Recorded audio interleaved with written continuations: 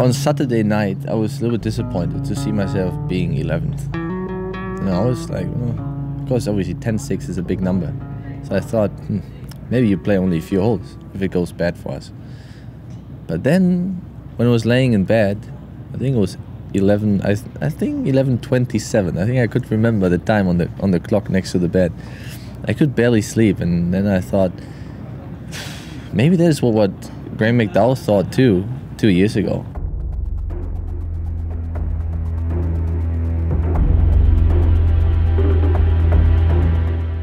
Maybe it comes down to you or Francesco tomorrow. And then I was starting getting a little nervous because it can happen. And I think I slept only for an hour and a half or two hours. And then I was arriving at the golf course the next day and I thought, okay, have a look at the leaderboard. And then you see blue, blue, blue, blue. I thought, ooh, ooh. maybe.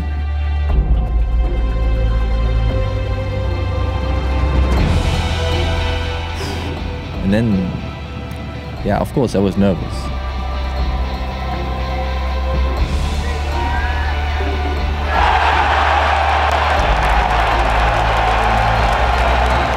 The atmosphere is so, it's like a little umbrella over everyone.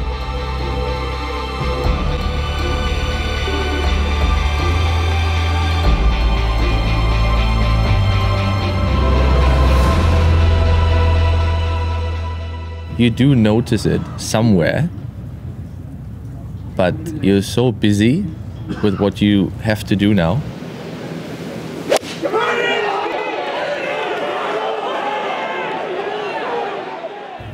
I think deep inside, you really enjoy the atmosphere of the people, of the fans.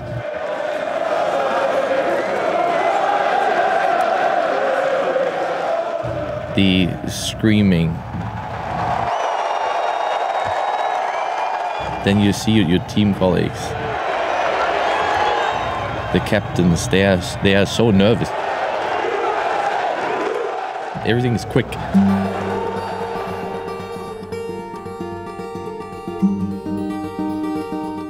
I think you don't notice that much in that moment. It's actually a pity that you don't notice all of those little things while you play.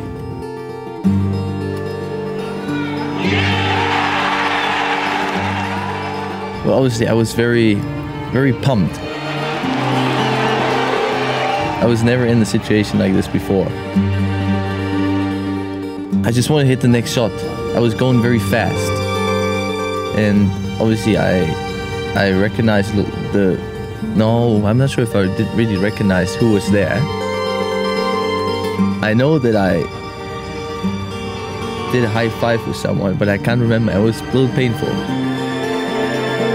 It was quite a big one. I was so pumped. Um, but to be honest with you, I cannot remember who was standing there. I have no idea. I, I don't know.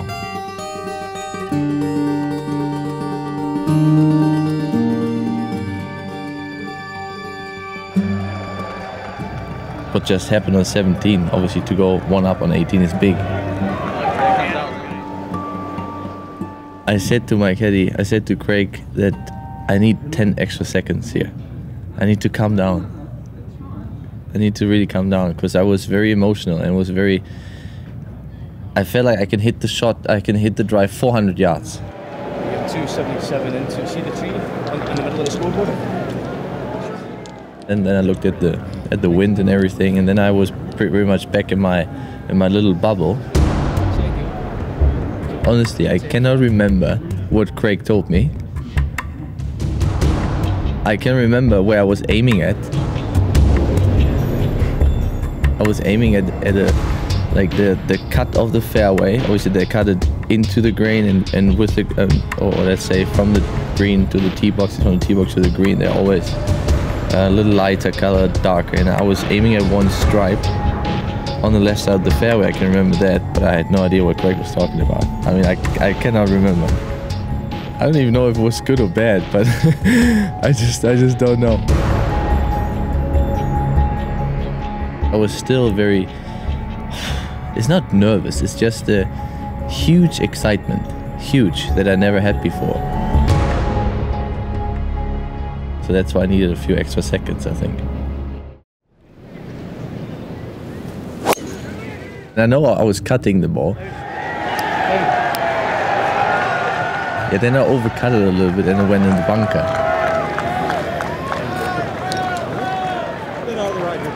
For me, it was just important to see where's my ball. I'm not a big lover from fairway bunkers. I was just hoping it's a flat lie. And it's obviously you just want to go, you want to see where, where am I? Okay, I have a good yardage. Do I have a good yardage? Where can I place it? So you want to see the next shot. And I didn't care what really he did because I know he will place it somewhere. And I was one up and I thought, you know, the pressure's up to him. He needs to make a three. Because I, I mean, I'm not screwing up here. It's not going to happen that I make five here. Ready, bro? I think I, I said something about the atmosphere.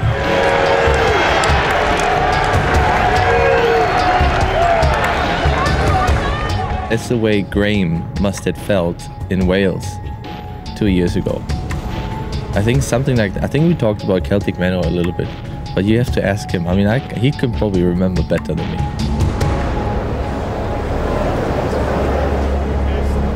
Yeah, I can remember that we had obviously we had similar yardages, uh, Steve Stricker and me. But I think it was still my shot. Um, I think it was my shot. Eh? Did I hit first? I think I hit first.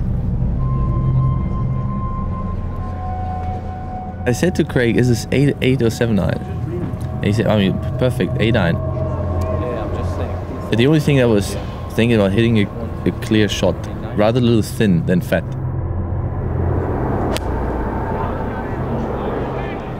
And I was very surprised about the shot because I know it was right to left wind, which is actually quite nice for me because I cut it usually, so I could be fairly aggressive with a shot. But I wanted to leave it short, short right. But then a high draw, and I, I mean, I struggle with draws, so I was surprised. Where is that coming from? But the bounce, uh, I tell you, the bounce from the the second shot when it lands next to the green. I have no idea how that can bounce on the green. It came in high from right to left, and I think it hit a right to left slope, but it went right. That's how it at least looked from the bunker. I have no idea how it went on the green.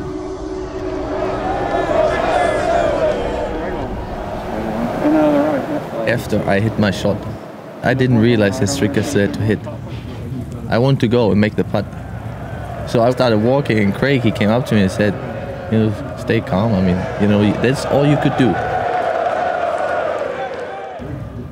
He needs he needs to deliver. You put it on the green. We're fine." I said, "Yeah, but I want to make the putt, so I need to wait actually."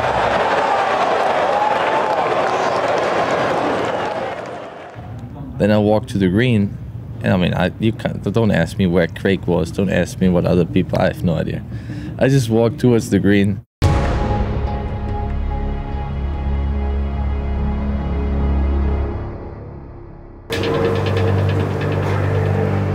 I saw that he's a very difficult putt. So I thought two putts is enough. It's up to me now.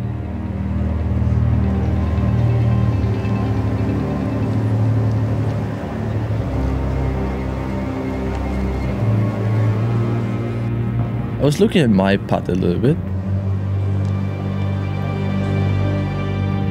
I was looking at the people around. You can't focus on a putt for two or three minutes. I mean, you see every piece of grass all of a sudden. It's distracting. So I was just walking around and looking, and I saw my, my brother behind the green. I can remember that. So that was very nice. And then I saw it on the screen, um, the score and everything. It's just, it was a very enjoyable moment because I could really realize what is happening here now. It was not like that you're overwhelmed by the feelings and by the emotions. It was beautiful. because I was really aware of what I have to do now.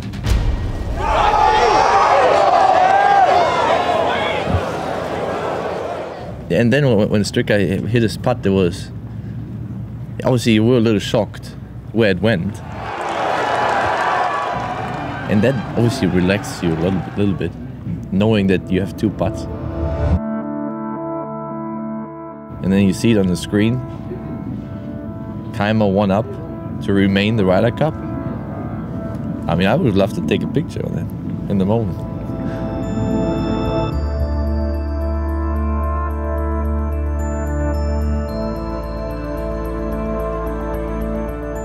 Terrible. It was terrible. My alignment, the first time I aligned, it was way too far right. My routine was different. Because I put the putter down, I look, looked to the hole, I opened my feet, looked up again. Usually I would putt now. But then I knew I aimed too far right. And I thought, well, maybe I can pull a little bit and it's okay. But then I, I aimed a little bit further left again.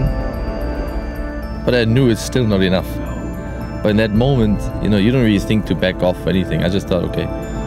It happens sometimes on the golf course too when you play normal holes that you aim maybe tiny bit too far right or left, but you just do it. It's not right, but you do it.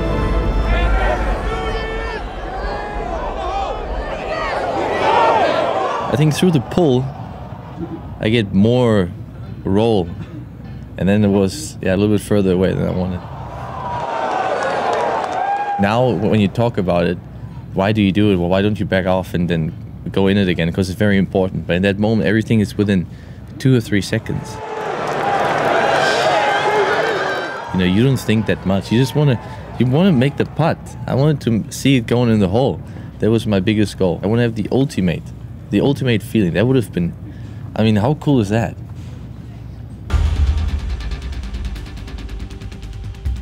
I knew I had a putt to win. And that's enough. Knowing it's all up to me. It's not up to him. It's all up to me if we win now, if I win my match or not. And that's all I want.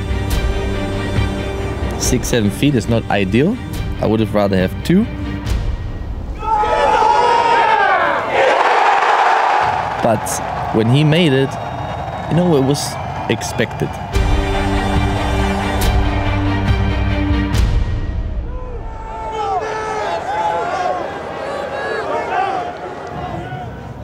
It never crossed my mind that I will miss it. I was just focused on, on one little piece in the hole. Pretty clear putt, fairly simple. You can make a confident stroke and goes in. There's no chance that I will miss. Uphill, right to left, inside the hole. I've done it a hundred times. Thousand probably. When I was over there and made, made my putting stroke, I thought, man, damn, it's that loud here. I can remember that. And I put the putter down, and then I hit it. But it was just that the last two feet when the ball rolled towards the hole. Obviously, you know it's it's right in the middle.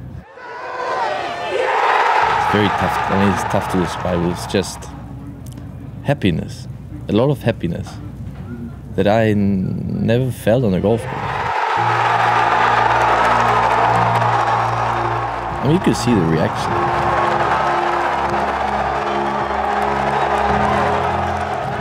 Just not me, really, but that's how important it was. Could have been anyone. It could have been you. If you would have stood there, I would have, I would have jumped on you. It would have been fine.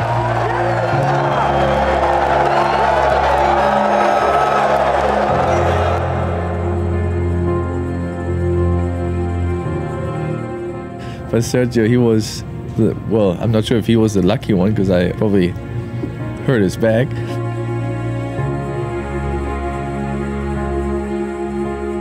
It was just a lot of good feelings in that moment.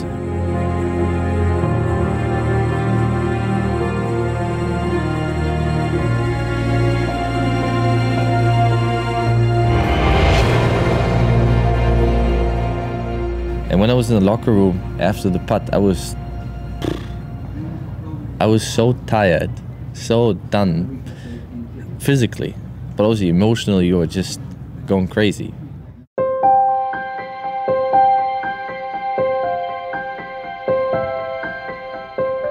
They were a proper team. Everything was set up that they will win. It looked like it that they will win.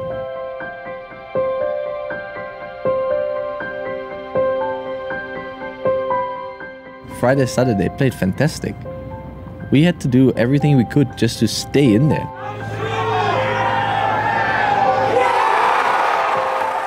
You need to think about that as well. It was not only about us, but we did we did such a great job on Sunday. Yes, we did, but it was tough for them on Sunday.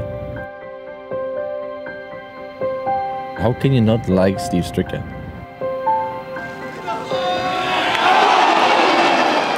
If I beat someone that I don't like, fine, I don't care. In that moment, obviously, it's more you want to win. But to beat Stricker in that moment, the way he is as a person, the way he treats us players, treats the fans, uh, you don't you don't want to see that.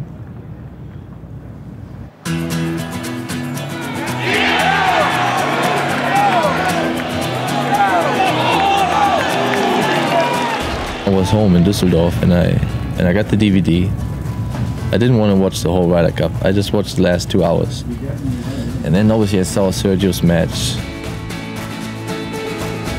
Justin Rose's match. And then I watched watched the last two, three holes that I played. And believe it or not, eh, but I was more nervous watching it than playing. I mean, it's crazy. I know, I know how it will end. I know that we will win.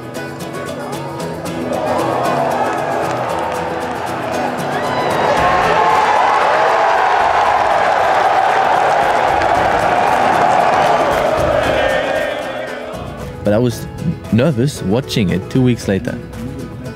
I mean, there's something wrong with that.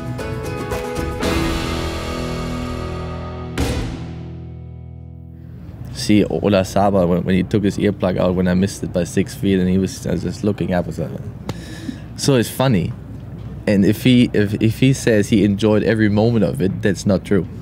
I'm sure he didn't enjoy that moment. Maybe he did enjoy it a little bit, but not not that much.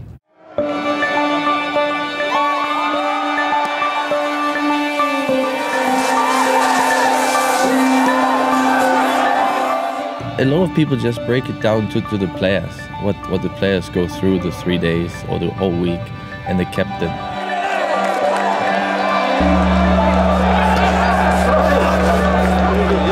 It's a relief in many ways for all the people who worked for two years on that project, who are involved in the Ryder Cup.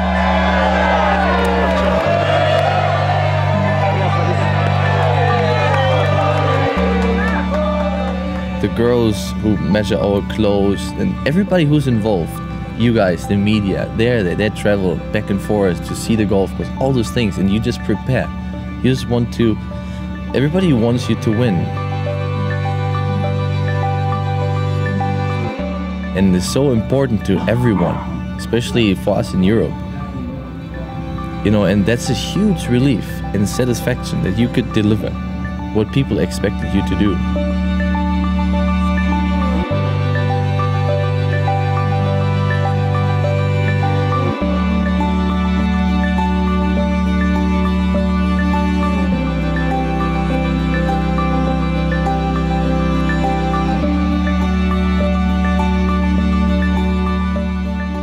expectation is one thing, but then to deliver is very difficult sometimes.